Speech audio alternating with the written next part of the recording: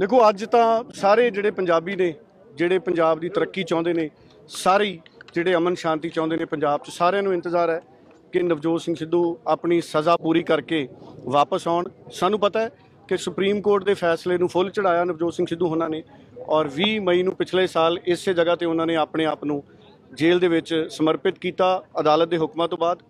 ਔਰ ਪੂਰੇ ਡਿਸਪਲਿਨ ਨਾਲ, ਅਨੁਸ਼ਾਸਨ ਦੇ ਨਾਲ, ਜਿਵੇਂ ਉਹਨਾਂ ਦੀ ਪੂਰੀ ਜ਼ਿੰਦਗੀ ਸਾਦਗੀ ਵਾਲੀ, ਅਨੁਸ਼ਾਸਨ ਵਾਲੀ ਰਹੀ ਹੈ ਉਸੇ ਤਰ੍ਹਾਂ ਨੇ ਨਵਜੋਤ ਸਿੰਘ ਸਿੱਧੂ ਉਹਨਾਂ ਨੇ ਆਪਣੀ ਸਜ਼ਾ ਕੱਟੀ ਹੈ। ਇੱਕ ਵੀ ਦਿਨ ਉਹਨਾਂ ਨੇ ਜੇਲ੍ਹ ਚੋਂ ਛੁੱਟੀ ਨਹੀਂ ਲਈ।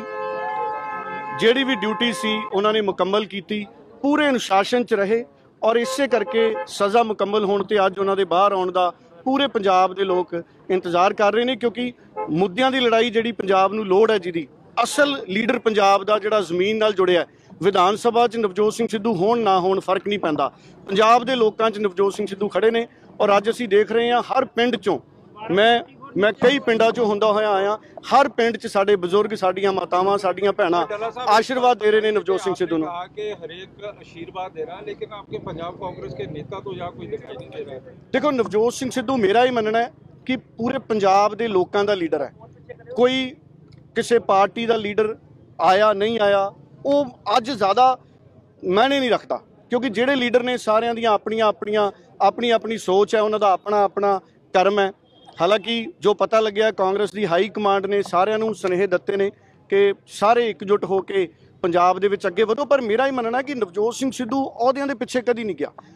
ਕਾਂਗਰਸ ਪਾਰਟੀ 'ਚ ਕੋਈ ਅਹੁਦਾ ਉਹਨਾਂ ਕੋਲੇ ਹੋਵੇ ਨਾ ਹੋਵੇ, ਪਰ ਲੋਕਾਂ ਦੇ ਦਿਲਾਂ 'ਚ ਉਹਨਾਂ ਕੋਲੇ ਅਹੁਦਾ ਸ਼੍ਰੀ ਕਰਤਾਰਪੁਰ ਸਾਹਿਬ ਦਾ ਲਾਂਘਾ ਖੁਲਵਾਉਣ ਵਰਗਾ ਜਿਹੜਾ ਕੰਮ ਹੈ, ਨਵਜੋਤ ਸਿੰਘ ਸਿੱਧੂ ਉਹਨਾਂ ਦੀ ਜ਼ਿੰਮੇਵਾਰੀ ਰੱਬ ਨੇ ਲਾਈ ਔਰ ਰਹਿੰਦੀ ਦੁਨੀਆ ਤੱਕ ਕਦੀ ਲੋਕ ਇਸ ਗੱਲ ਨੂੰ ਨਹੀਂ ਭੁੱਲ ਸਕਦੇ ਕਿ ਨਵਜੋਤ ਸਿੰਘ ਸਿੱਧੂ ਦੀ ਭੂਮਿਕਾ ਸੀ राजा बड़िंग कहते हैं कि उनको आज व्यस्त है इसलिए आ नहीं सकते ਦੇਖੋ ਰਾਜਾ ਵੜਿੰਗ ਪੰਜਾਬ ਪ੍ਰਦੇਸ਼ ਕਾਂਗਰਸ ਕਮੇਟੀ ਦੇ ਪ੍ਰਧਾਨ ਨੇ ਉਹਨਾਂ ਨੂੰ ਉਹਨਾਂ ਦੇ ਪਾਰਟੀ ਨੇ ਬਹੁਤ ਵੱਡੀ ਜ਼ਿੰਮੇਵਾਰੀ ਦਿੱਤੀ ਹੋ ਸਕਦਾ ਹੈ ਪਾਰਟੀ ਦੇ ਕਿਸੇ ਕੰਮ 'ਚ ਰਾਜਾ ਵੜਿੰਗ ਜੀ ਰੁੱਝੇ ਹੋਣ ਕਿਉਂਕਿ ਬਹੁਤ ਮਿਹਨਤ ਕਰ ਰਹੇ ਨੇ ਸਾਨੂੰ ਪਤਾ ਹੈ ਪਰ ਮੇਰਾ ਹੀ ਮੰਨਣਾ ਹੈ ਕਿ ਗੱਲ ਰਾਜਾ ਵੜਿੰਗ ਦੇ ਆਉਣ ਜਾਂ ਨਾ ਆਉਣ ਦੀ ਹੈ ਹੀ ਨਹੀਂ ਅੱਜ ਕੱਲੇ ਰਾਜਾ ਵੜਿੰਗ ਦੇ ਨਾਲ ਪੰਜਾਬ ਨਹੀਂ ਚੱਲਣਾ ਕਿਸੇ ਇੱਕ ਲੀਡਰ ਨਾਲ ਪੰਜਾਬ ਨਹੀਂ ਚੱਲਣਾ ਲੋਕਾਂ ਨਾਲ ਪੰਜਾਬ ਚੱਲਣਾ ਹੈ ਔਰ ਲੋਕਾਂ ਨੂੰ ਉਹਨਾਂ ਦਾ ਨੁਮਾਇੰਦਾ ਅੱਜ ਵਾਪਸ ਆ ਕੇ ਉਹਨਾਂ ਦੇ ਵਿੱਚ ਆਊਗਾ।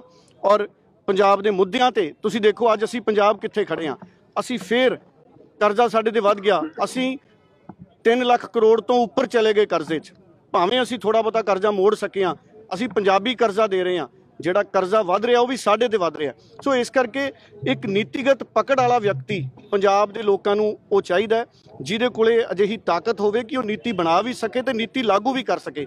ਪੰਜਾਬ ਨੀਤੀਆਂ ਦੇ ਨਾਲ ਖੁਸ਼ਹਾਲ ਹੋਣਾ ਸਾਡਾ ਕਰਜ਼ਾ ਵਿਸ਼ਾਲ ਜੀ ਨੀਤੀਆਂ ਦੇ ਨਾਲ ਹੀ ਨਿਕਲਣਾ। ਸਾਹਿਬ ਇਹ ਬਤਾਏ ਕਿ ਅੱਜ ਪੰਜਾਬ ਕਾਂਗਰਸ ਕੇ ਜ਼ਿਆਦਾਤਰ ਕਿਉਂਕਿ ਬੜਾ ਨਾਮ ਹੈ ਕਾਂਗਰਸ ਦਾ ਔਰ ਨਵਜੋਤ ਸਿੰਘ ਸਿੱਧੂ ਦਾ but about Raja Warring and others ਦੇਖੋ ਮੈਨੂੰ ਲੱਗਦਾ ਅੱਜ ਗੱਲ ਰਾਜਾ ਵੜਿੰਗ ਦੀ ਜਾਂ ਕਿਸੇ ਹੋਰ ਲੀਡਰ ਦੀ ਨਹੀਂ ਹੈ। ਅੱਜ ਗੱਲ ਪੰਜਾਬ ਦੀ ਹੈ।